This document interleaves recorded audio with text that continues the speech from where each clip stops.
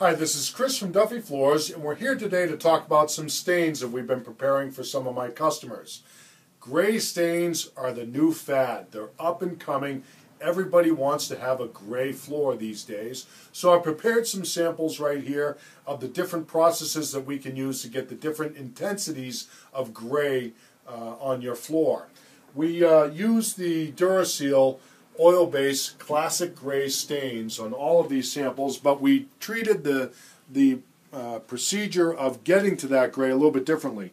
On the bottom here we've got the straight classic gray stain on the raw wood with a water-based uh, polyurethane on top of that.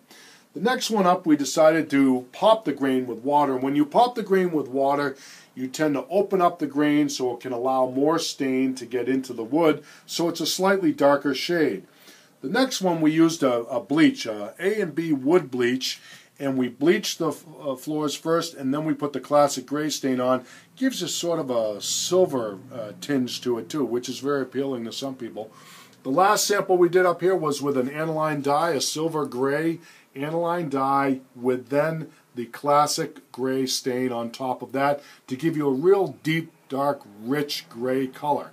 All of these were coated with a water-based polyurethane to keep the integrity of the same color uh, without having it change any with an oil-based finish, which would tend to yellow some of these a little bit.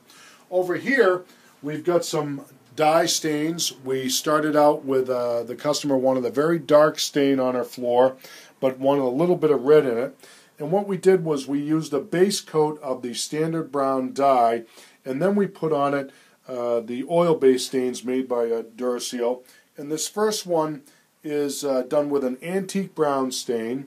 The next one up here, which is pretty light, is a cherry stain.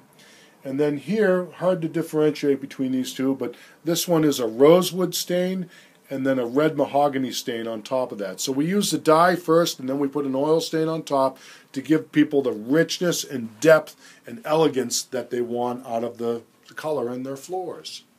So any array of colors that you need or want or desire in your floors. We can work with you and get a number of samples down so you can see exactly how it's going to look like on your floor.